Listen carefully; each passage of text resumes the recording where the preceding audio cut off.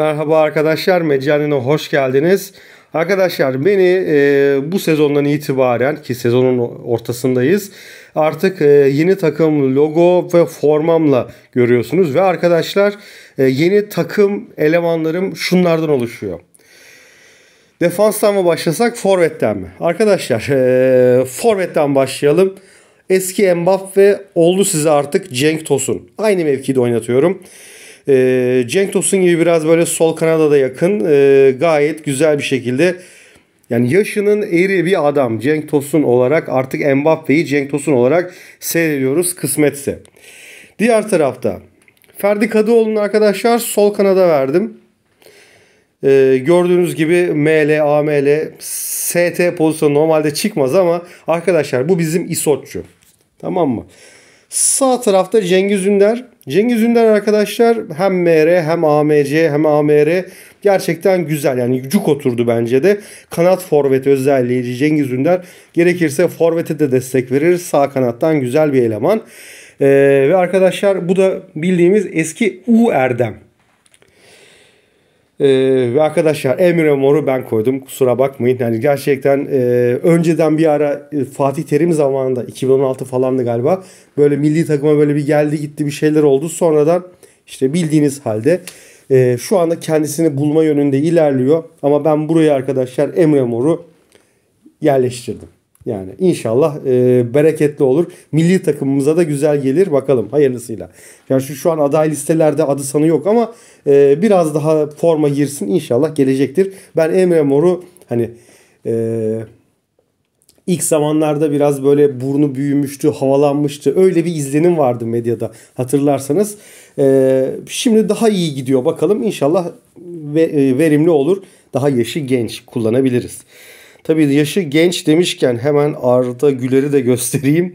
Bunu da arkadaşlar zaten bu sezon e, şeyden gelen bir oyuncuydu. E, Gençlik Akademisi'nden gelmişti. Dolayısıyla e, bu oyuncuyu çok sahada görememiştik ama Erol'du adı. Bakarsanız görürsünüz. Şimdi arkadaşlar bunu da arkadaşlar Arda Güler yaptım. Bakalım arkadan gelecek hayırlısıyla yetişsin. Evet orta sahanın iki elemanı Hakan Çalhanoğlu. Bu ee, Emir Aslan gibi bir oyuncum vardı. O olacak. Bu da İrfan Can Kahveci. Bu da arkadaşlar çift yönlü orta sahayla e, burada da e, Ferrati vardı bilirsiniz. O oyuncuyu İrfan Can Kahveci olarak yaptık. Biraz e, seviyesi düşük ama takıma katkısı iyidir. evet Orkun Kökçü. Bu da arkadaşlar bu geçtiğimiz sezon gelmişti. Biz bunu e, sönmez olarak görüyorduk takımda. Bir sezondur takımdaydı. Gayet iyi. Orkun Kökçü hem defansa hem ileri gidecek. Ve arkadaşlar defansımız Merih Demiral DC pozisyonunda stoper. Güzel koyduk bakalım. Çağlar Soyuncu aynı şekilde. Bu arkadaşlar mevkileri aynı. Yani sol tarafta genelde Kara Duman'ı oynatıyordum. Ortada Ramos vardı. Ramos artık Çağlar Söyüncü oldu. Ee, sağdaki e, DC pozisyondaki oyuncum da Ozan Kabak oldu. Burada da Pereira vardı. Evet. Şimdilik böyle. Yedeklerde başka bir kısım oyuncuları elbette koyduk. Ee, Kerem Aktürkoğlu'nu hmm, ondan sonra Ozan Tufan'ı emektar diyelim. Gerçi biraz yaşları uymadı ama mevkileri uydu diyelim. Ondan sonra Salih Özcan'ımız var. Bu da fena değil. Ama dediğim gibi bunlar daha çok yedekte kalacak gibi. Arkadaşlar Enes Ünal'ı bilmiyorum siz ne düşünürsünüz ama yani şu an tam hak ettiğini buldu gibi geliyor bana.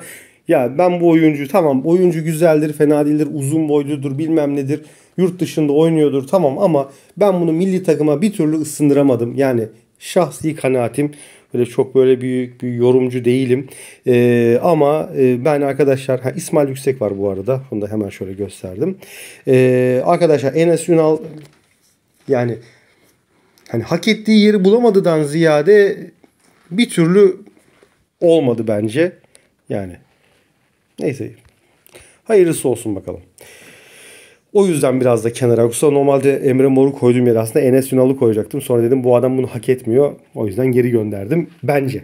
sonuçta takım benim, teknik direktör benim. Yani öyle de düşünebilirsiniz. Evet, ha tabii taktikleri de gösterelim. Şimdi arkadaşlar e, bu oyuncularla beraber Emre Mor'u bu arada eski Ü Erdem'i yani şu pozisyonda oynatıyorum ara ara. Ee, böyle de çok katkısı sağlıyor. AMC pozisyonunda geliyor. Şimdilik Cenk Tosun forvette iyi pozisyonda. Eğer takım çok kapalanı kapanırsa o zaman şöyle de yapabiliyorum biliyorsunuz. Ee, ama şimdilik şu pozisyon gayet iyidir. Cenk Tosun şöyle ileri alalım biraz daha. Evet şöyle Emre burada böyle Evet şimdilik böyle. Taktikler arkadaşlar e, hücuma bu kadar adam koydunuzsa artık savunma yapamazsınız elbette ki. Hücum oynuyorum. Ortadan oynuyorum. Uzun paslarla topu buluşturmaya çalışıyorum. Kontratak kapalı. Bunu duruma göre. Zaten hücum oynadığım için kontratağı kapattım. Ama savunma oynasam kontratağı mutlaka açardım.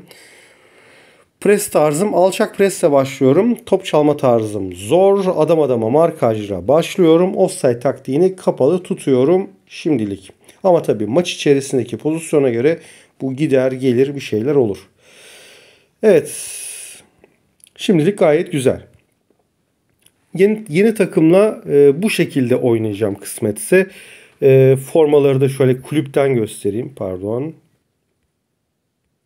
Neredesin? Evet. Ev formam bu şekilde. Deplasman formam bu şekilde. Ee, ve inşallah hayırlı uğurlu olsun diyorum bu yeni forma takımı ile beraber. Evet. E, bu arada merak edenler için söyleyeyim. Bu sezon arkadaşlar ligden düşmeye çalışıyorum biliyorsunuz. Ama başaramıyorum. Onu da farkındasınız. İzleyen arkadaşlar, takip eden arkadaşlar görüyordur. Arkadaşlar takımı 61'e düşürdüm. Yani yani elimden geleni yaptım öyle söyleyelim. Hmm, yani gitti 7-0 yendi ya. Hani insan bir berabere kalır. 59'luk takımla oynuyorsun. Hani böyle bir şeyler yap. Yok arkadaşlar olmuyor. Yani geçen günde özel sponsorluk ödüllerinden bir şey için e, Serra ile oynuyorduk. Normal takımla çıktım hani şey olsun diye. Onda da 2-0 falan yendik öyle. Dolayısıyla ben e, şu an hatta bir sizden bir arkadaşın yorumu vardı. Hani takımı e, düşürmekten ziyade Süper Lig'e kal yine iyi olur diye. Sonra e, başka arkadaşların da yorumları var. Ciddi ciddi e, ligden kal, ligden düşmemem yönünde. E, dolayısıyla arkadaşlar ben de bir şeyler yapmaya çalışıyorum.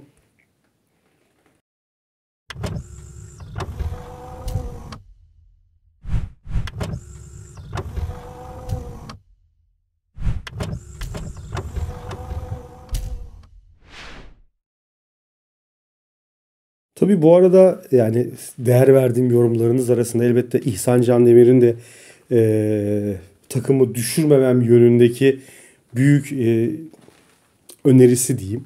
Ki o kendisi her sezon e, takım gücünü düşürerek bir sonraki sezona devam ediyor. Ben bunu e, o sıklıkla yapamıyorum. Hatta o yoğunlukla da yapamıyorum. Ben takımdan o kadar hızlı, o kadar çabuk vazgeçemiyorum. Ee, ve onun da önerisi aynı şekilde takımı hmm, ligden düşürdüğüm takdirde bir sonraki sezonki rakiplerin çok daha güçlü olarak karşıma geleceği yönünde. Yani yağmurdan kaçarken doluya tutulabiliriz gibi bir e, meali var anlattığı ifade etmiş olduğu yorumlarda anlatmış olduğu şekliyle. E, bunu da düşünürsek e, hani takımı düşürmeden Şampiyonlar Ligi'ne değil de Süper Lig'e gelecek şekilde ligi işte 5-8 takım arasında bitirirsek e, belki bu e, şeyden eşleşmeden kurtulabiliriz diye ümitliyim. En azından bir kere de bu şekilde deneyelim. Bakalım yani Süper Lig yolculuğumuz nasıl oluyormuş. Uzun zamandır böyle Süper Liglere falan inmemiştik. E, bir inelim bakalım e, ne varmış ne yokmuş oralarda durum nasılmış. Ondan sonra önümüzdeki sezon daha iyi bir şekilde geliriz. Evet kendinize iyi bakın diyorum arkadaşlar. Meccanen'de kalın. Bir sonraki videoda görüşmek üzere.